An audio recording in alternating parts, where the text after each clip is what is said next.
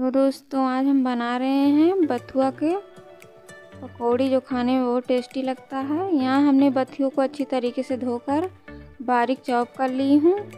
अब यहाँ हमने एक थाली में रख लिया है और फिर यहाँ हम एक कटोरी बेसन डाल रहे हैं और आधा कटोरी चावल का आटा डाल देते हैं।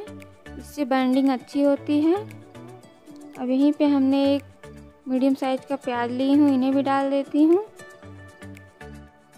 अब यहीं पे हम दो हरी मिर्च को बारीक चॉप कर ली, इन्हें भी डाल देती हूँ और थोड़ा सा जीरा डाल देते हैं।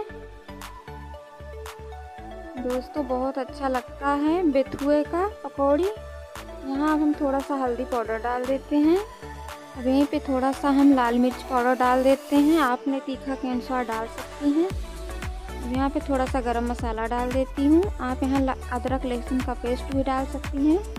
और थोड़ा सा हींग डाल देते हैं। स्वाद अनुसार नमक डाल देते हैं। यहीं पे हम थोड़ा सा इसमें रिफाइंड तेल डाल देते हैं।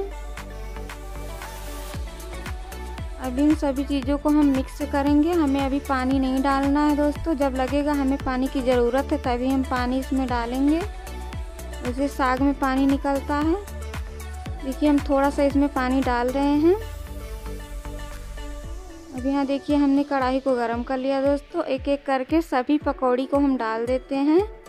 दोस्तों बेथुआ की पकौड़ी बहुत अच्छी लगती है खाने में। ज़रूर इसे बना के खाइएगा। और हमारी वीडियो आप लोगों को अच्छी लगी तो लाइक ज़रूर करिएगा दोस्तों। इसी तरीके से देखिए, हम सभी पकौड़ी को बना लेते हैं।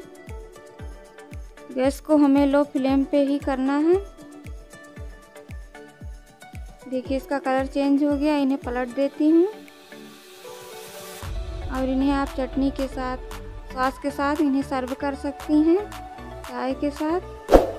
देखिए, कितना अच्छा पकौड़ी बनके तैयार हो गया दोस्तों। अगर हमारी वीडियो अच्छी लगी तो लाइक, शेयर, सब्सक्राइब ज़रूर करें दोस्तों।